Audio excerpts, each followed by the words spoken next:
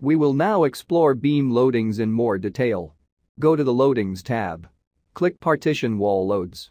Here you can set up predefined partition wall loads, such as brick wall. The way the dialog works is very similar to the additional slab loads library. As you can see, there are already various brick wall and block wall loads set up. These are simply based on feedback from users from various countries. The right table shows material layers and its associated parameters, such as unit weight and thickness. The material layers can be changed by clicking on the drop-down menu. To review, edit, or add material, click on Edit Material. In the Material dialog, you can edit unit weight by clicking on the input box. You can also add or delete a material. Click Add. Enter new material, glass, which we may use later. Input unit weight of 80 kN per meter cube. Press Enter.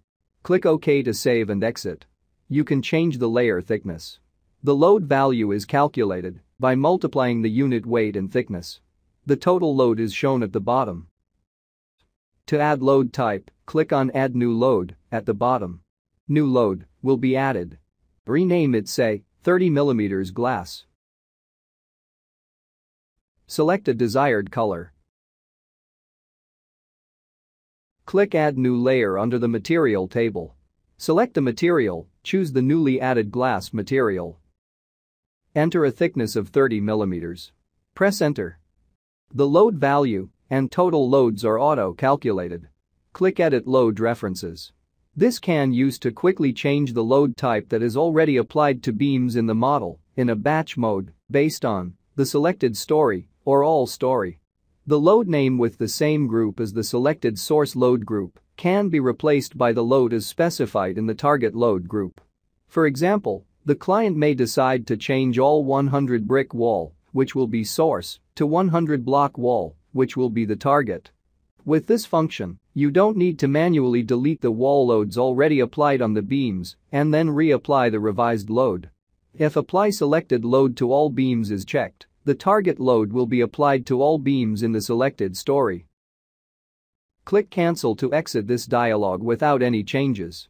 In the main dialog, click OK to save and exit. We will now insert brick wall loading on the beams in Story 1. Tile the 2D and 3D view vertically by going to Views tab. Click Tile Vertical. Make sure the plan view is active by clicking on it. Ensure you are viewing Story 1. Select a perimeter beam. The Beam tab will be shown. Click Edit Loads. Alternatively, you can select the beam, right-click, Edit load. The load editor of the beam will appear. Maximize this window. Load Types tab. Choose the load type to insert, example point load, full uniform load. For now, don't pick any. Load case and loads folder is the left pane.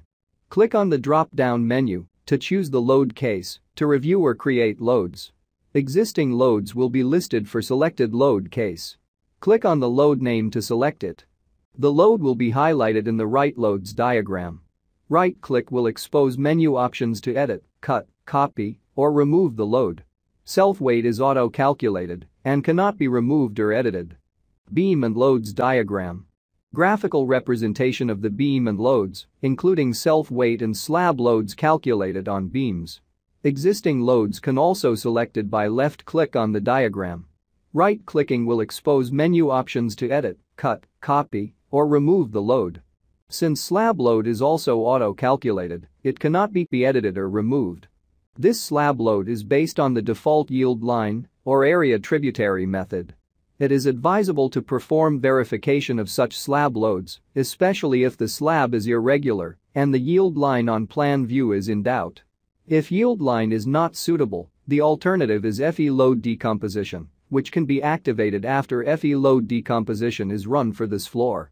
The reaction that you see in the diagram is simplified to a simply supported beam, outcome of the applied loads shown above. It excludes any secondary beam or transfer columns loads. Hence, it is not the true reaction of the beam, which can only be obtained after running the analysis. Nonetheless, these reaction values are useful to check the total loading on this beam based on the above applied loadings. The beam and loads diagram can be rotated by right-click and drag. The view can also be orientated by clicking on the 3D cube. In the lower left corner, the global coordinate system are shown with XYZ arrows. The local coordinate system is shown on the member itself. Click on the front view of the cube to reset the view. Load properties on the left. The label, direction, and magnitude for the selected load are shown. These values can be updated, provided it is not self-weight or auto-calculated slab loads. Load type filter layer. Click load type icon to toggle on and off the associated diagrams. Line loads are member self-weight and any uniform line loads. Decomposed slab loads are auto-calculated slab loads. Go to View Options.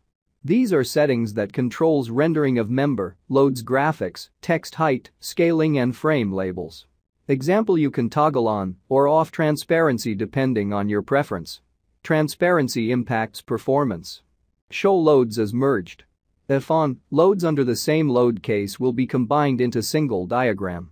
Please note to select, delete or edit the load, this option must be switched off. Ensure this option is off. The shortcuts for commonly used view options are also available in the right layers icons. Let us insert a preset 200mm brick wall load on this beam.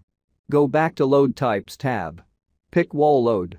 Notice that all other load type layers with auto off, leaving only wall load. Ensure G load case is selected in the Loads folder at the left. In the Load Properties, Wall Load Library, pick 200 brick wall Singapore. The wall height is preset to 3000 mm equals to story height. This can be changed. The average load is auto-calculated by multiplying wall unit weight and the wall height. Hence, it is really important that you enter the correct wall height. Place the mouse cursor on the beam and left-click to create the load. The load will be created and added in the diagram and loads folder. Press escape key to end the creation mode. To edit, simply left-click to select the wall load. Wall opening can be inserted by clicking Edit Openings, which will launch the opening editor. Click Add and default opening will be created. You can change the properties and position of the opening by changing the relevant values. Click Cancel to exit without the opening. Show infill wall as line load. If toggle off, the infill wall will be rendered with actual height and thickness. Rotate the view for clarity. Toggle it on again. Click OK to save and exit the loads dialog. On the plan view, the beam with wall load is hatched with a preset color. The wall is also rendered in the 3D view. Loads can also be entered for the entire story, instead of single member, by accessing the story load editor. Ensure ST01 is active and no members are selected by pressing the escape key. Go to Loading tab, pick Load Editor, Story 1. The Story Load Editor dialog will appear. Maximize the screen. It is similar to the Beam Load Editor, except that all the members and loads on the active story are shown. The 3D view diagram can be rotated and zoomed similar to the modeling view. Under load types, surface loads are loads or aerial loads that can be applied to slabs and shear walls. Load case and loads folder. Choose the load case to insert the loads. Existing loads will be listed for selected load case. Loads folder resembles the structure tree which organizes loads under member type. Show only loaded members. If checked will omit any members without any loads from listed. Expand the folder. Click on the load name to select it. Right-click will expose menu options to edit, cut, copy, or remove the load. Self-weight and decomposed slab loads are auto-calculated and cannot be edited if removed. Member filter. Toggle visibility of member type in the diagram. Example if slab layer is off, then all slabs and loads applied to slabs will be hidden. Switch slab layer off so it's less cluttered. We will now copy the brick wall load, inserted previously, to some perimeter beams. Ensure G load case is selected in Loads folder. In Load Type Filter, toggle off Uniform Load and Decomposed Slab Loads to isolate brick wall loads. Select Wall Load in the Diagram or Loads folder, right-click, copy. Multiple select three numbers of perimeter beams by holding down the control while selecting the beams. Right-click, paste. Check the same wall load is pasted correctly. Click OK to save and exit.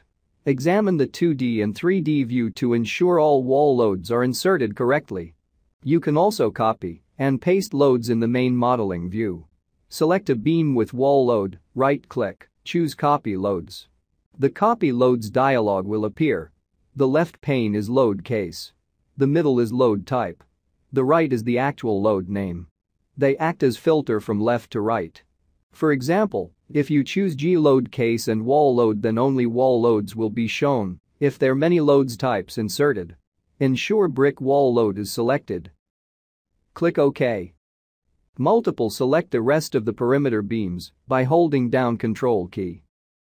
Right-click. Paste loads. The brick wall loads will be pasted